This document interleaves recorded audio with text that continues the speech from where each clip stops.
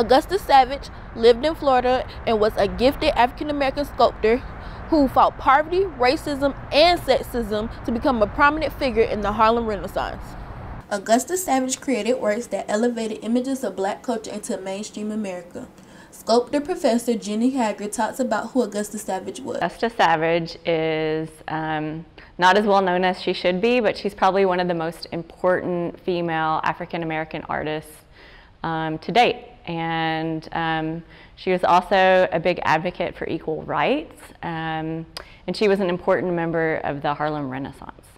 Today, Savage is most known for her sculpture called The Harp, which was created for the 1939 World's Fair.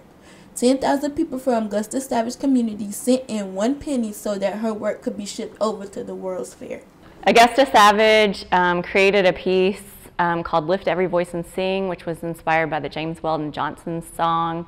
Um, the piece uh, was created for the 1939 World's Fair. Um, it is um, figurative, and the figures actually create the form of a harp um, as the sculpture. Um, it was renamed the harp, although um, I don't think Augusta Savage liked that renaming. I think she wanted it to be Lift Every Voice and Sing. Um, the sculpture was made in plaster for the World's Fair in 1939, and um, because she didn't have funding to build it in bronze, um, it was destroyed. Augusta Savage was not only a female black sculptor from the South, she was also a teacher of the Harlem Renaissance. She taught people like Norman Lewis, Gwendolyn Knight, and Jacob Lawrence, who are really prominent African American artists today. She has even had an impact on other sculptor students like Keshana Davis. Augusta Savage is very important to me because we're both from Jacksonville, we're both female, and we're both female black sculptors from the same area. I'm happy to be following in her footsteps.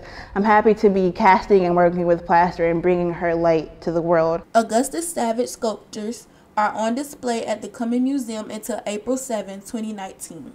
The exhibition features nearly 80 works of art from Augusta Savage, including sculptures, paintings, and works on paper. Reporting from UNF, I'm Jada Solomon.